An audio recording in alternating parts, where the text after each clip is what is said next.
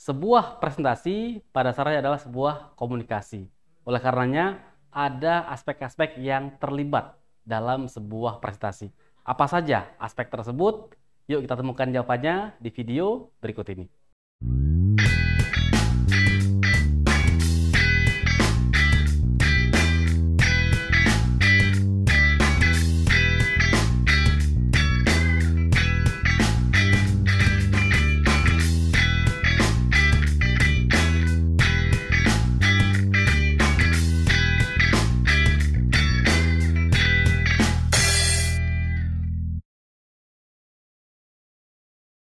Assalamualaikum warahmatullahi wabarakatuh.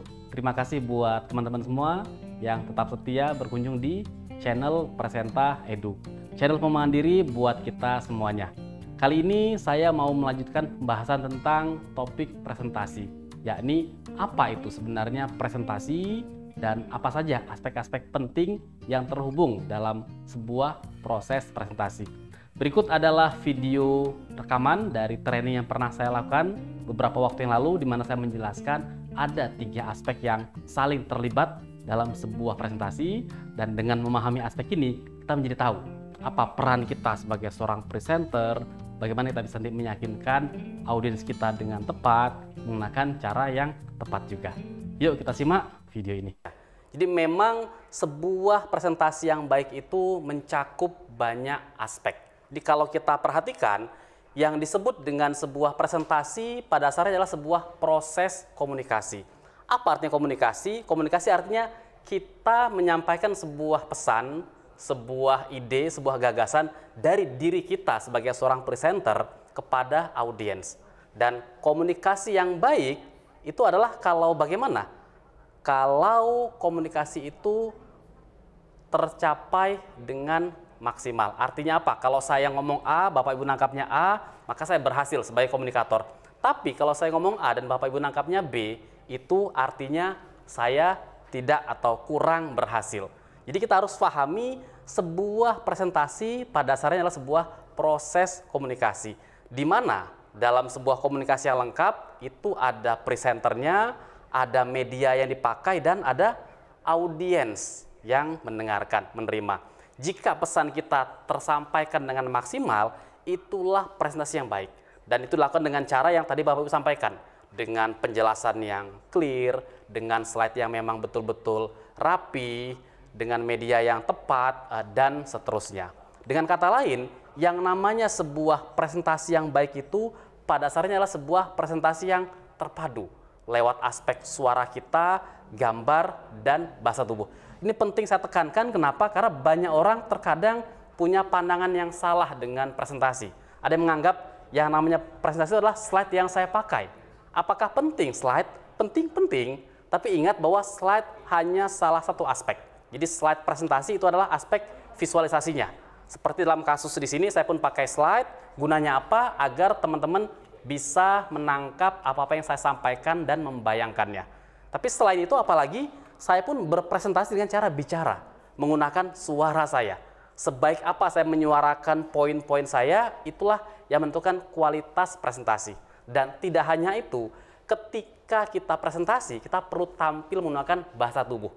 Cara kita berdiri, cara kita berpakaian, cara kita menatap audiens, kita membagi kontak mata, ini bagian dari presentasi.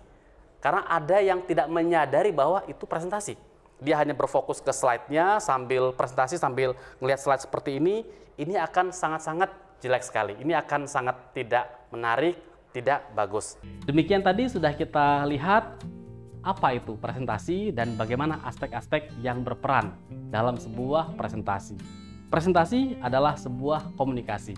Komunikasi yang sukses jika apa yang kita sampaikan diterima dengan tepat, dengan baik oleh audiens kita.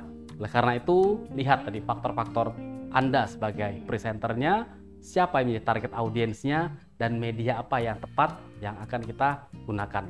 Dengan memahami aspek-aspek ini, teman-teman akan lebih mengetahui apa saja yang sebenarnya terlibat dalam sebuah presentasi dan hal-hal apa yang akan menyebabkan sebuah presentasi itu akan berhasil ataupun gagal. Selamat belajar, selamat mempraktekkan. Semoga video ini bermanfaat buat teman-teman semuanya. Terima kasih sudah menyaksikan video ini. Insya Allah kita akan ketemu lagi dalam video berikutnya.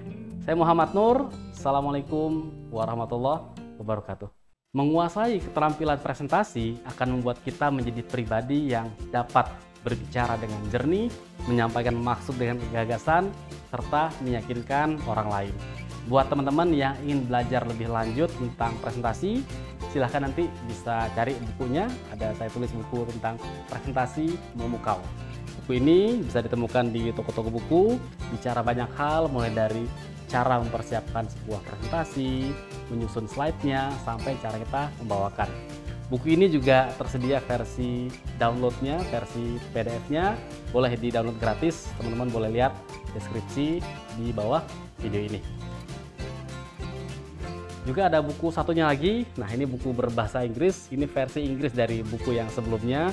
Judulnya Killer Presentation.